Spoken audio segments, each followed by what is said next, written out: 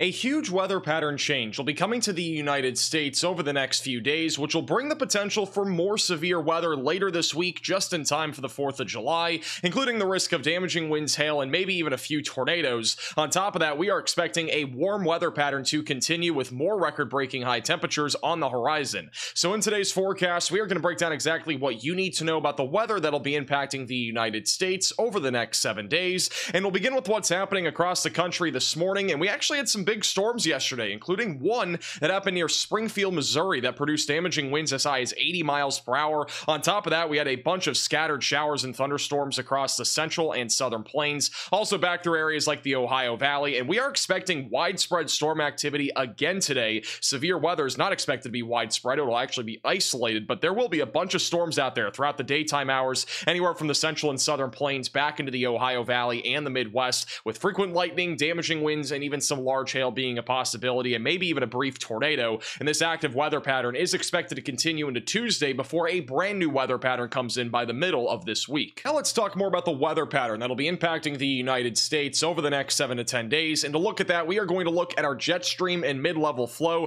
This is what it looks like right about now. We actually have a trough that is currently located over the Midwest. This is helping to bring slightly colder weather to the Midwest for today and tomorrow. On the other hand, we are going to continue to see a bunch of showers and thunderstorms to the south and east of this low pressure system, so expect the potential for at least isolated severe weather today, which we'll talk more about here in just a moment. We also have high pressure in place back over in the four corner states, and then a low pressure system just off the coast of California, and we are anticipating monsoon season to start to ramp up back over in areas like Arizona, so be ready for that here over the next few days. As we get closer to Wednesday and Thursday, we are expecting that low pressure system to slowly make its way to the east, which will boost our rain chances back over in the southwest, and on top of that, we will be watching for a shortwave trough to eject over the Rockies and into the northern and central plains. And I do think we are going to see some severe weather, unfortunately, on the 4th of July. I really do not see there being any big severe weather events between now and Thursday, but I think Friday, Saturday, Sunday could be at least somewhat uh, more significant days of severe weather comparatively to what we'll be seeing for the next few days.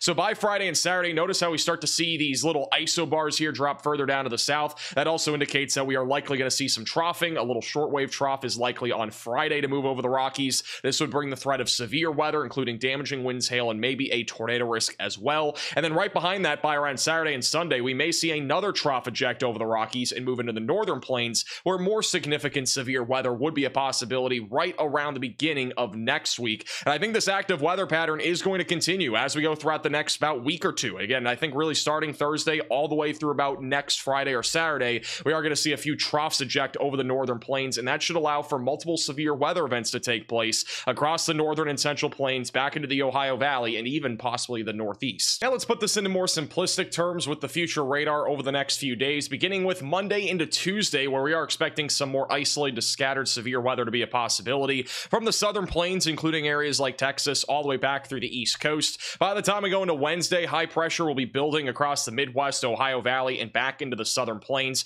This will help to keep things drier and also warmer by the middle of this week. On Thursday and Friday, though, is when we do anticipate another trough to eject over the Rockies, and this should bring at least some isolated severe weather on Thursday to the Dakotas, Montana, and Wyoming. But I think on Friday is when we have the chance for a slightly more significant, maybe a bit more of an organized threat of severe weather, but that's going to come down to wind shear in this area. If we get enough wind shear, we definitely could see a bit more of a tornado threat, but right now I think damaging winds and hail will be the biggest concerns from the upper Midwest back into the central plains on the 4th of July. Could also see some spotty storms back over in areas like Florida and also perhaps as far south as Arkansas and Louisiana on the 4th of July. So definitely stay weather aware. There is a chance that we go live on the 4th of July if we have a severe weather event. I know there's going to be a lot of people doing outdoor activities, so it's definitely something that we need to keep an eye on on Friday. By Saturday, we're expecting storms to continue back over in the Midwest. Severe weather will be a lower threat, though, on Saturday. And then eventually by Sunday, another low pressure system will attempt to eject over the Rockies, which may bring more severe weather to areas like the northern plains and maybe back through the Midwest. And then by next week, we will likely see an active weather pattern across the southeast and also across the four corner states where monsoon season will ramp up. We may even see a brief tropical storm form back over near Florida this weekend into early next week. That is something we are keeping an eye on. We'll talk more about that here in a second as the National Hurricane Center actually does have probabilities in place for Florida for a potential tropical storm to form. And then eventually, again, into next week, we'll continue to see at least some severe weather in the northern plains and the Midwest. I would expect that live streams will be probably pretty frequent, I think, next week. I do think this active weather pattern and stretch will continue with multiple threats of severe weather upcoming. And on top of there being a threat for severe weather and also heavy rainfall that could lead to some problems as we get closer to the 4th of July, it is going to be hot over the next week or two. We are expecting temperatures to be around average most areas east of the Rockies, slightly below or slightly above average, so nothing record breaking right now. If you're back over in the Pacific Northwest or in the Rockies, though, this is an area that we are dealing with record breaking temperatures over the next few days. But by Friday and Saturday, there will be a big heat wave across the northern plains, the upper Midwest, and back into Canada as a low pressure system will steer further to the north. Very warm air coming out of the south, with a high pressure system still helping to gear those winds from the south to the north and basically transporting tons of moisture and heat. So that'll continue as we get closer to the 4th of July. Definitely expect above average temperatures across the Midwest, Great Lakes, and across the East Coast for the 4th of July. And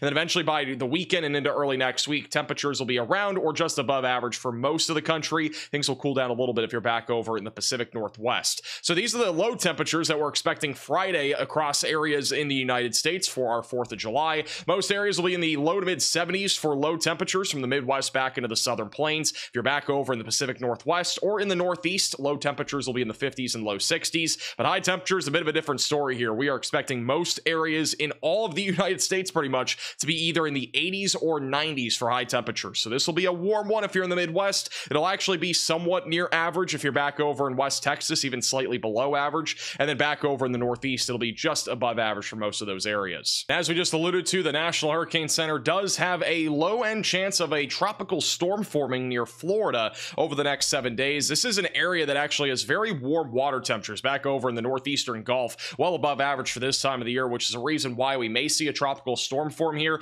If for some reason this is a very stationary storm, if it is to form, we actually could even see a hurricane form. It's just too early to tell what's exactly going to happen. But over the next few days, we are going to be keeping an eye on this. And if there's any major changes, we'll definitely let you know in a forecast format, but definitely something that we are keeping an eye on. Also, Tropical Storm Barry is no longer a tropical storm. It did make landfall in Mexico last night, and it is no longer really any threat, at least to the United States. It really never was, but South Texas did at least receive some rain from this disturbance. Now let's talk more about the severe weather potential for the next few days, beginning with today, which is Monday, and we have a large marginal threat of severe weather from the Texas Panhandle all the way back through Michigan and Pennsylvania. Across the board, the biggest concern will be isolated damaging winds and isolated large hail. Wouldn't rule out a very isolated brief tornado somewhere in the Ohio Valley today, but overall the concern for tornadoes is very low to zero today. Just make sure that you're staying weather aware and have multiple ways to receive warnings. And then as we go into Tuesday, the threat of severe weather will shift further to the east, where we have a slight risk of severe weather in place for New Jersey, Pennsylvania, Maryland,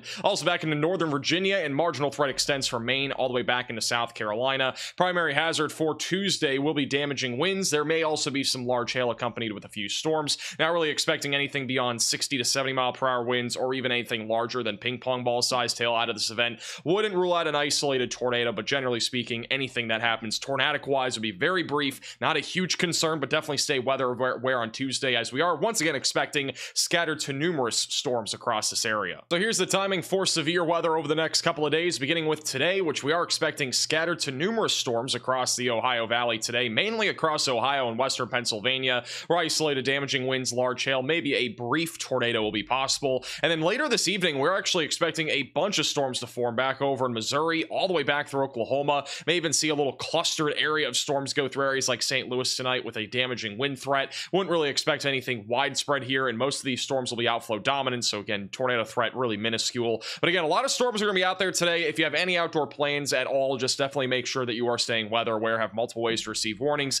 If thunder roars, go indoors. By the overnight hours, these storms will continue across the Mississippi River Valley and will slowly make their way towards Alabama in the early morning hours on Tuesday. And again, no no severe weather really expected after midnight tonight. It would be a very isolated threat. And as we go into Tuesday, more storms are expected across the Ohio Valley, mainly to the east though of the Mississippi River, uh, back over in central east, eastern Kentucky and also back through eastern Tennessee. Damaging winds and isolated hail will be possible. Out of these storms and also lightning, including cloud to ground lightning, will be a possibility again on Tuesday. I do think Wednesday will be much drier here across the Ohio Valley. Back into the southern plains, we're expecting at least some storms to fire off later this afternoon, mainly around 4 to 7 o'clock in southern and central Oklahoma. Back into North Texas and also into the Panhandle, where damaging winds and hail will be a possibility. Tornado threat is basically zero in this region. And then on Tuesday, a few more storms will be a possibility from Dallas Fort Worth all the way back into West Texas. Nothing more than just isolated damaging winds or hail are possible on Tuesday. And then here's the timing for the East Coast on Tuesday, right around 2 o'clock is when a lot of storms will fire off across eastern Kentucky, Tennessee, and also some pop-up storms in Virginia and northern West Virginia.